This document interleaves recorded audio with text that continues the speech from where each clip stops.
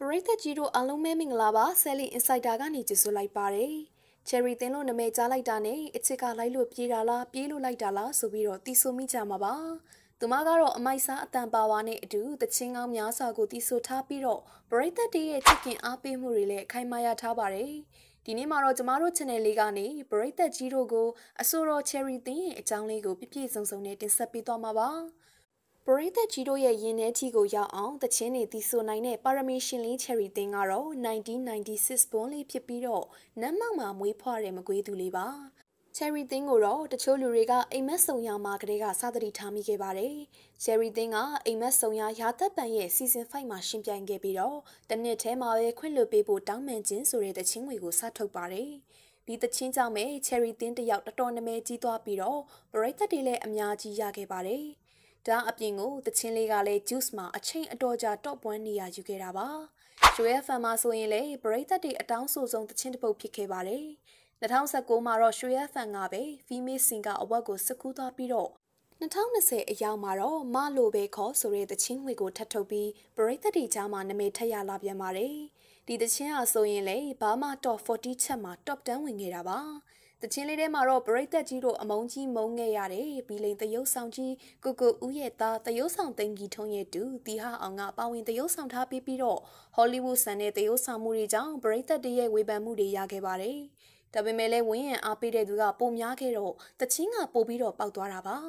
ချယ်ရီသင်းကတော့အမှုပညာမောင်နှမတွေကိုလည်းချစ်ချစ်ခင်ခင်နဲ့ကူညီတက်ပြီးတော့မင်းခန့်ရဲ့အစဉ်ပြေဖို့ခတ်တဲ့သချင်းမှလည်းပါဝင်တည်ဆိုထားပါတယ်။ အဆိုတော်ချယ်ရီသင်းကတော့အဖေများနေမှလည်းသူမရဲ့အဖေကိုထာဝရနှုတ်ဆက်ခဲ့ရပါသေးတယ်။ဒီတန်တွေကိုကြံ့ကြံ့ခံရင်းမဲ့ရင်ဆိုင်ခဲ့တာပါ။အဲဒီနောက်မှာတော့စစ်အာဏာသိမ်းတာတွေစခဲ့ပြီးတော့သူမကတော်လန်ရေးကြီးမှာအမှန်တရားဘက်ကနေပြည်သူတွေနဲ့အတူပါဝင်ခဲ့ပြီးတော့လမ်းထွက်လူထုလှုပ်ရှားမှုတွေမှာလည်းအားတက်သရောပါဝင်လှုပ်ရှားခဲ့ပါတယ်။ဒါနဲ့မကသေးဘဲနဲ့ဆန္ဒပြပွဲမှာပြစ်ခတ်မှုကြောင့်ထိခိုက်ခဲ့ရတဲ့မိသားစုတွေနဲ့တခြားလိုအပ်တဲ့သူတွေကိုလည်းလိုက်ပြီးတော့ကူခဲ့ပါတယ်။ ဒါကိုတော့သူမကတိုင်ခံအလူခံပြီးတော့လိုက်လှူပေးခဲ့တာပါ။ပရိသတ်တွေကတော့အမှန်တရားဘက်ကနေယက်တီပေးတဲ့သူမကိုပိုသဘောကျသွားပြီးတော့ပိုလဲအားပေးခဲ့ကြပါတယ်။ဒီလိုအချိန်မှလည်းအဆိုတော် Cherry သင်းကပရိသတ်တွေအတွက်နားထောင်ရအောင်တချင်းကောင်းလေးတွေဇက်တိုက်ရေးပေးခဲ့ပြီးတော့ဒီကြားထဲမှာအဆိုတော်ပိုပိုနဲ့လည်းလိန်တူချစ်သူတွေဖြစ်နေပြီဆိုပြီးတော့သတင်းထထွက်ခဲ့ပါတယ်။တကယ်တော့သတင်းတွေကအလွဲဖြစ်ပြီးတော့ပိုပိုနဲ့ Cherry သင်းတို့က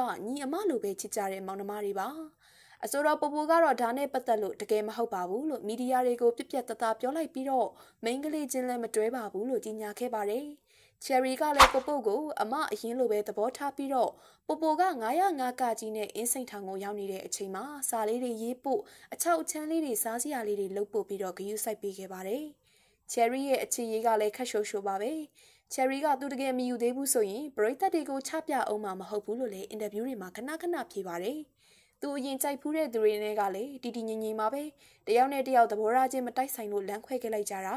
အခုထိလည်းမောင်နှမတွေလိုပဲတန်ရောစင်ရှိကြပါတယ်လို့လည်းပြောပူပါတယ်